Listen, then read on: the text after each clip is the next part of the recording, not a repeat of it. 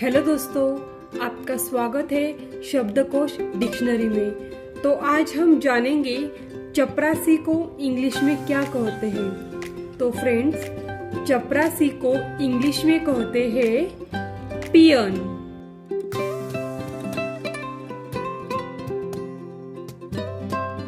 तो अगर आपको और किसी वर्ड का मीनिंग जानना है तो नीचे कमेंट बॉक्स में ज़रूर लिखें। अगर आपको हमारा वीडियो पसंद आया है तो लाइक ज़रूर करें और शेयर करें। साथ ही साथ हमारे चैनल को सब्सक्राइब ज़रूर करें, क्योंकि इसी प्रकार के और इंटरेस्टिंग वीडियोस हम लाते रहते हैं बस आपके लिए। ही thank you friends have a nice day